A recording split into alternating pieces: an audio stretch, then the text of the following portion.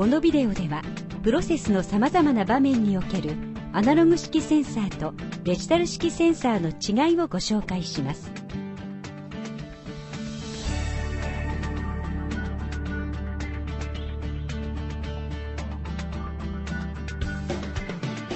アナログセンサーではまずセンサーの記録をチェックすることから始まります。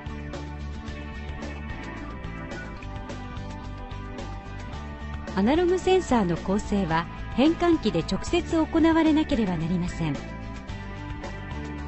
また構成が完了したら新しいデータを記録する必要があります。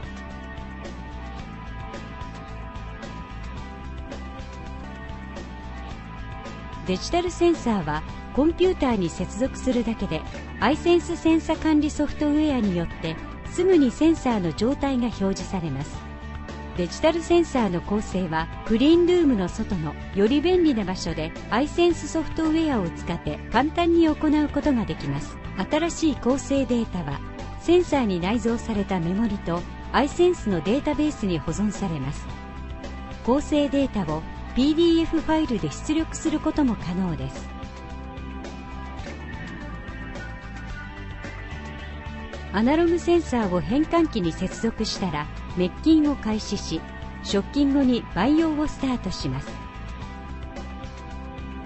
バッチ終了後バッチ処理にかかった時間を記録します。